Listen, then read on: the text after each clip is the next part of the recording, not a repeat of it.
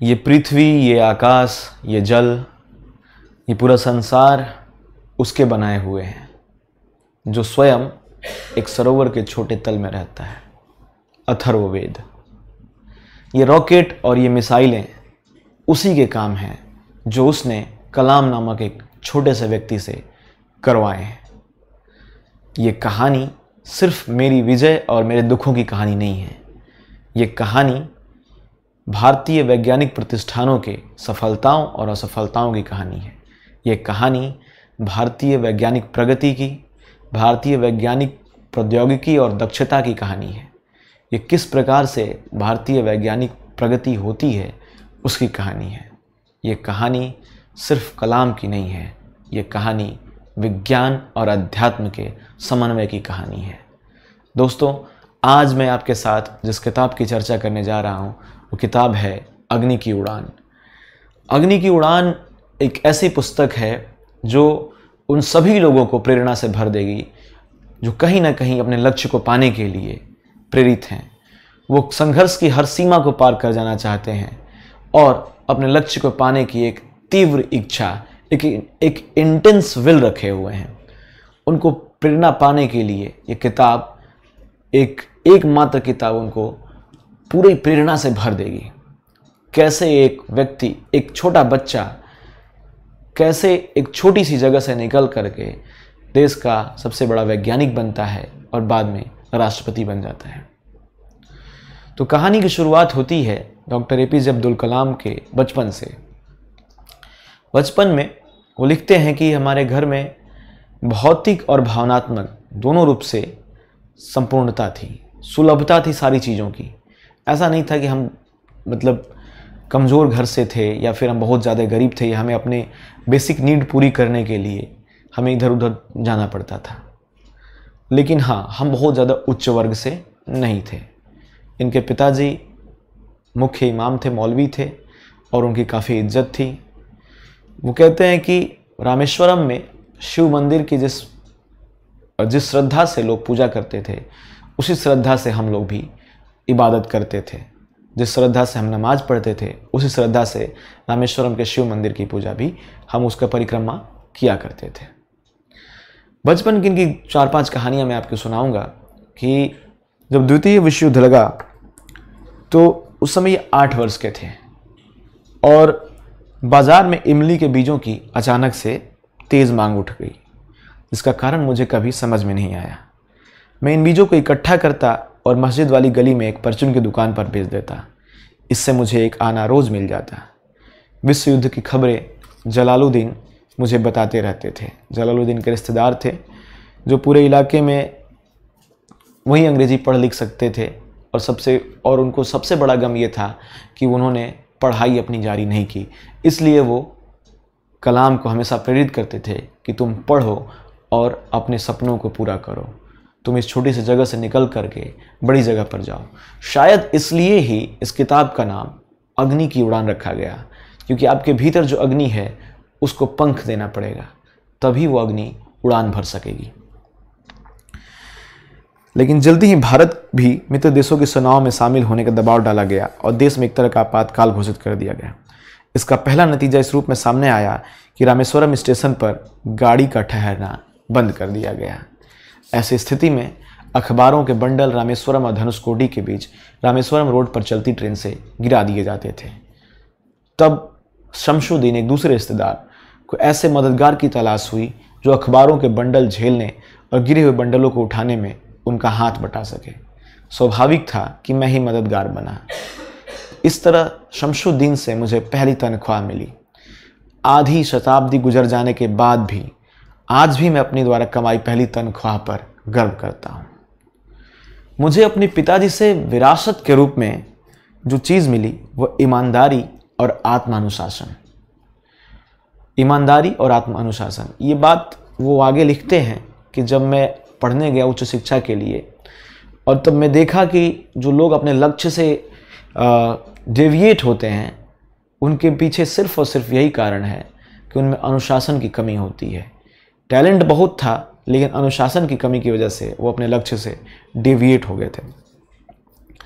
मुझे अपने पिताजी से विरासत के रूप में ईमानदारी और आत्मानुशासन मिला और माँ से ईश्वर में विश्वास और करुणा का भाव मिला।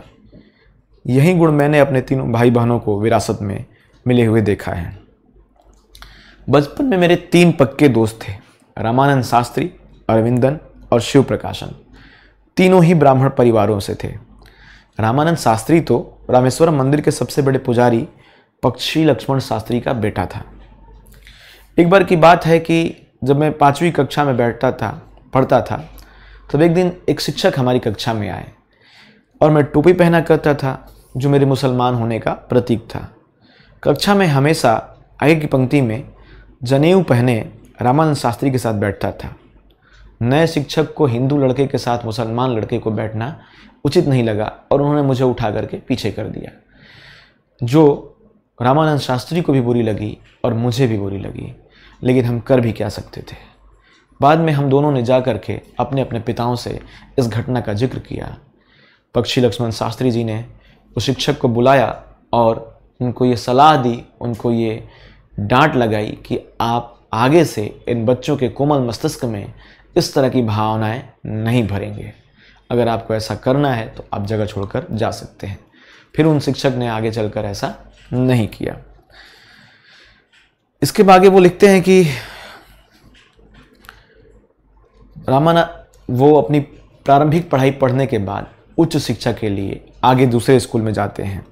जिसका रामानाथपुरम में स्वार्ट्स हाई स्कूल में चले जाते हैं।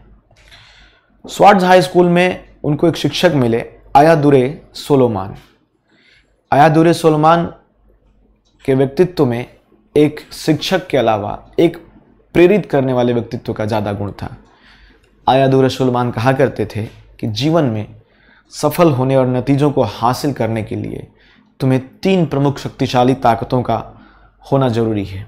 वो ताकत है इच्छा, आस्था और उम्मीद। सबसे पहले तुम्हारे पास इच्छा होनी चाहिए कि तुम्हारे पास कौन सी इच्छा है।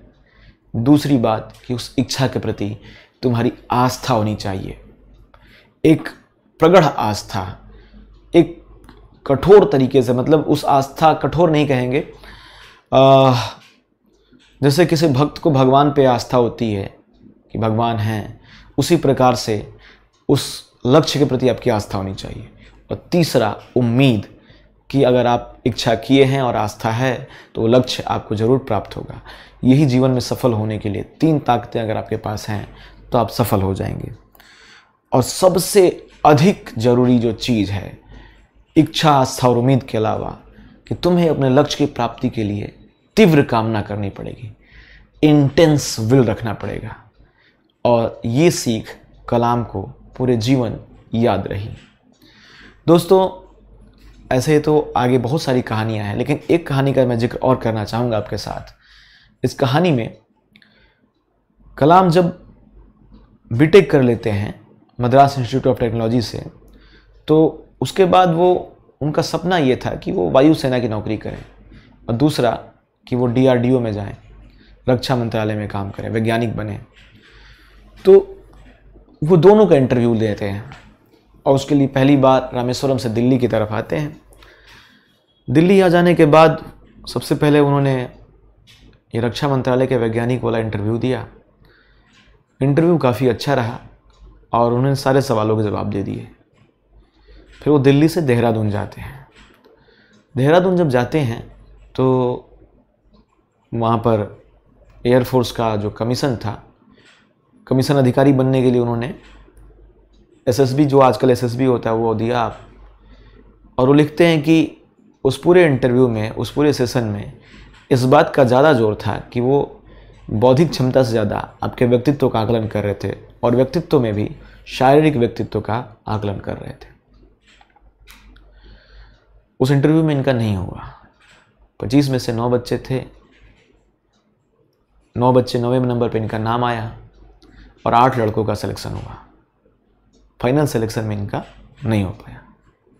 पूरा निराश हो गए थे, क्योंकि इनको यही चाहिए था। उदास हो गए थे।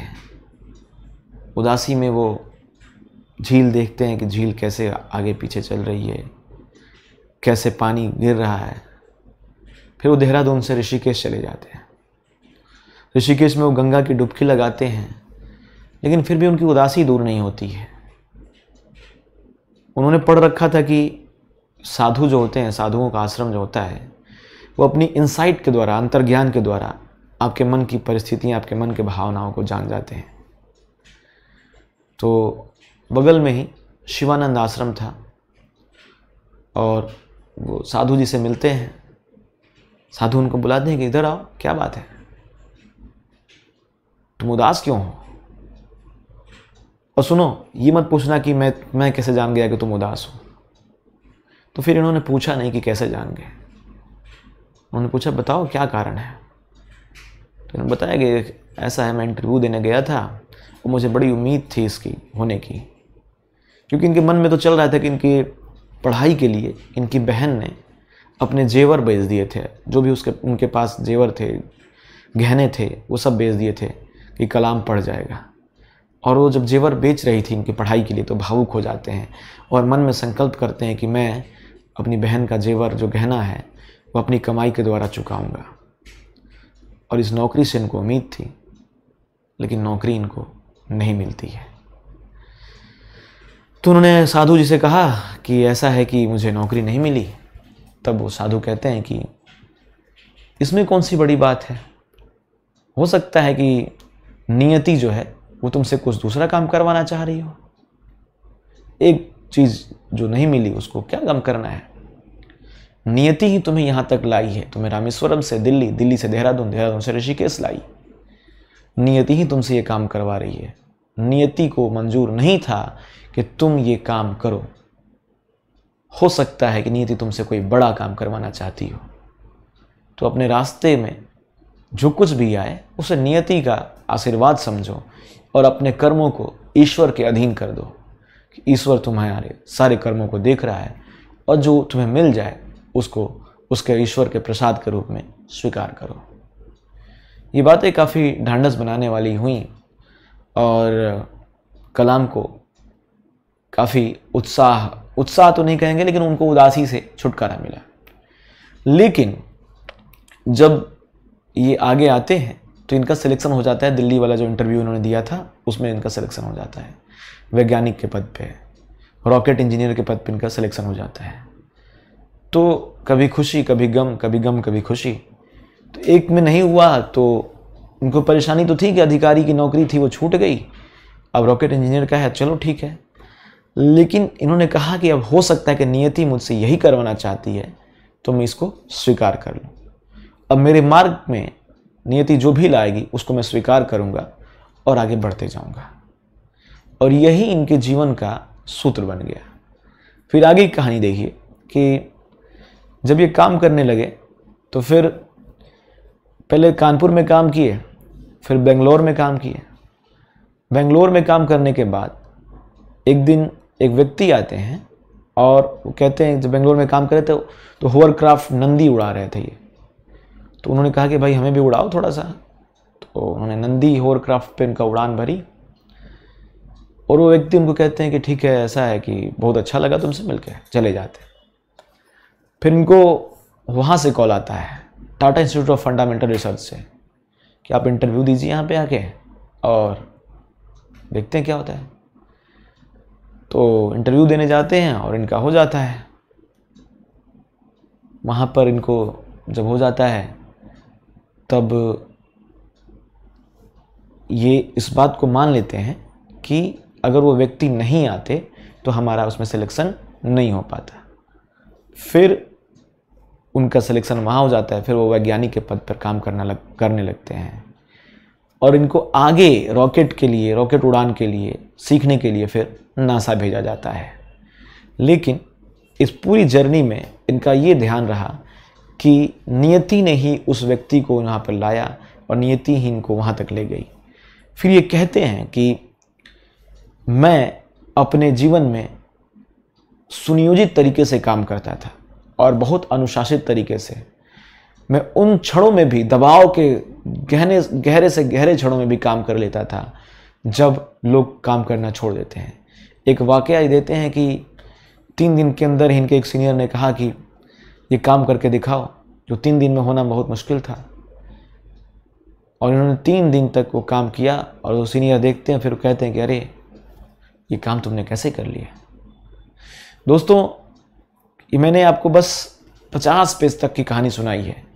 मैंने अभी पचास पेज तक की कहानी सुनाई है आपको, और पूरी किताब 250 पेज की है। तो मेरा ये कहना है कि अगर 50 पेज में इतनी कहानियाँ मिल गई, इतनी प्रेरणा मिल गई आपको तो 250 पेज अगर आप पढ़ेंगे तो कितनी प्रेरणा, कितनी कहानी आपको मिलेंगी।